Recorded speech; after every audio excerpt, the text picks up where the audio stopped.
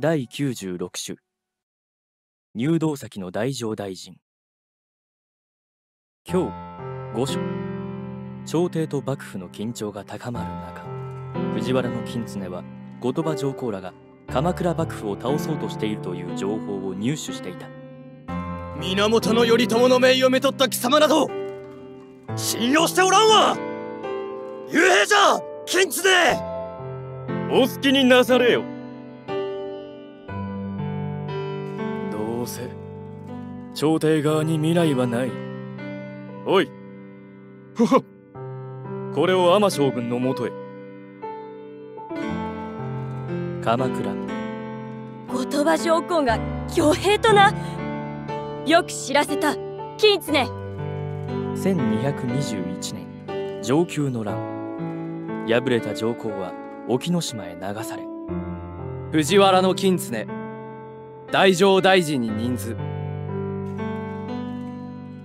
はもはや朝廷に力はなく幕府の天下は必然。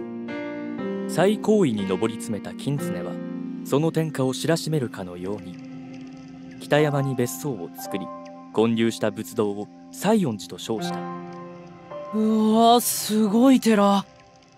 もう誰も西園寺さんにかなわないね身内を幕府関係で固めてうまく立ち回っているからな。何とでも言え。私の天下は変わらんわ。その後吹田の別荘にわざわざ有馬から温泉を運ばせるなど贅沢の限りを尽くした金常だったが。年老いてゆく。弱ってゆく。くそ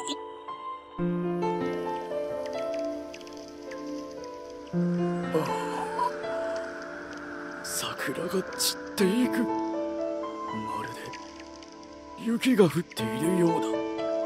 いや降っていくのは私なのか。